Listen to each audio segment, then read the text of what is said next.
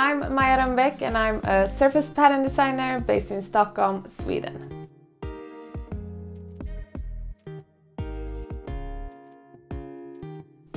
In this class you will learn all about how to design a pattern collection and how to streamline your workflow using Adobe Draw and Adobe Illustrator.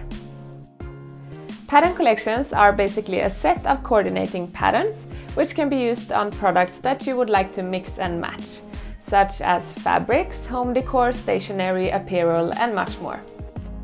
The skill of making collections is useful if you either work professionally with pattern design, as it's a standard for some markets to license whole collections, or if you want to make products for yourself that mix and match well together. In this class I will teach you the process that I use when I make pattern collections and hopefully you can use this to streamline your workflow and simplify your process when creating collections. You will learn how to decide a theme and plan your collection, what a collection should include, and the workflow of drawing your motifs and build your collection.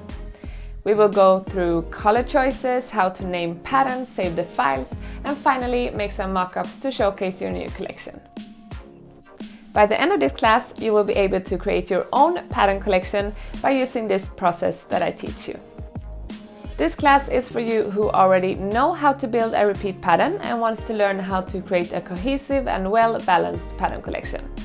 Or for you who already know how to make pattern collections but want to improve your process and streamline your workflow.